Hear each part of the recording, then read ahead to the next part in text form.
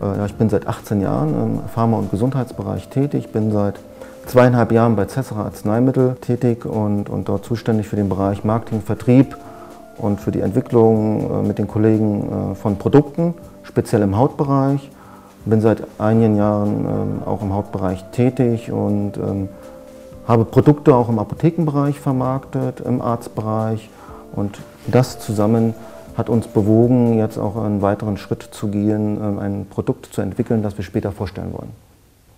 Bei der Entwicklung der Salbe war mir wichtig, dass eine Salbe entwickelt wird, die nachhaltig ist, das heißt, die lange wirkt, vor allem die ich auftrage und die ich vor allem erstmal nicht wahrnehme. Für mich war eine gute Salbe die, die ich nicht spüre, die vorhanden ist, aber die ich erstmal überhaupt nicht registriere. Die Salbe unterscheidet folgendes, dass wir sie zusammen mit einem Experten aus dem Triathletenbereich, mit Herrn Alexander Taubert, zusammen entwickelt haben. Wir haben besonders darauf geachtet und deshalb eben auch Salbe, wie vorhin ähm, erwähnt, dass ein Schutzfilm lang anhaftend auf der Haut verbleibt.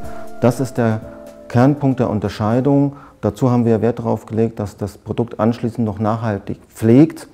Und da haben wir uns für eine bestimmte Substanz, nämlich Olivenöl, entschieden, die dann die Haut zusätzlich auch noch stärkt. Dazu kam natürlich noch äh, die Anforderung, dass es schweiß- und wasserresistent sein sollte, damit eben die Salbengrundlage sich nicht vermischt mit Wasser und ausläuft. Das ist bei uns nicht der Fall und, und deshalb haben wir uns oder deshalb unterscheiden wir uns mit unserem Produkt dementsprechend im Markt.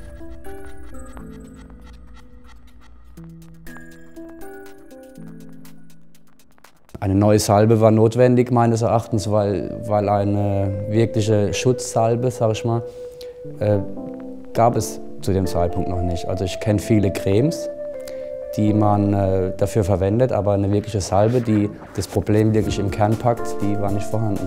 Wir haben im Herbst 2009 begonnen mit der Salbe, ähm, haben eine Marktforschung gemacht, haben fünf bis sechs Entwicklungsschritte benötigt, damit das Produkt jetzt diesen Standard hat, äh, über den wir uns jetzt unterhalten. Die Ilon Protect Salbe unterscheidet sich zu anderen Cremes, dass sie aufgetragen wird, dass sie lange hält und dass sie schützt und, äh, und vor allem, dass sie nicht äh, unangenehm riecht. Das Produkt ist ja in erster Linie ein Hautschutz- und Pflegeprinzip, das wir speziell für Druck und Reibung entwickelt haben.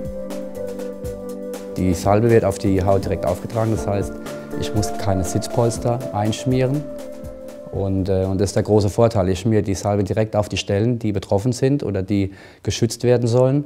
Und der Vorteil dadurch ist natürlich, dass sie die Salbe direkt an den Stellen wirkt. Die Salbe wird auf die Haut aufgetragen, ähm, damit wir eine bestmögliche Wirkung äh, des Produktes entfalten können. Und wir wollten praktisch wie ein Luftpolster, ein Druckpolster schaffen zwischen Haut und Bekleidung, damit so wenig wie möglich Druck und Reibung entsteht. Als Triathleten habe ich sehr viele Anwendungsbereiche. Zum einen der Sitzbereich an sich, aber auch die äh, Stellen am Hals, die zum Beispiel beim Schwimmen durch den Neoprenanzug wundgescheuert werden und auch unter den Achseln beim Laufen. Das war ein sehr wichtiges Argument, dass auch das Schwimmen eben ähm, zum einen geschützt werden muss, aber auch, dass die Creme genau das Schwimmen eben auch äh, übersteht.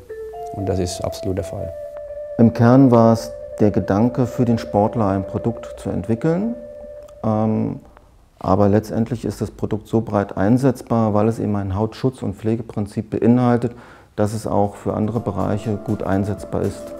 Die Elon Protect Salbe, die ist eine Salbe, die, die wie, wie ich schon gesagt habe, die, die nicht auffällt, aber trotzdem wirkt.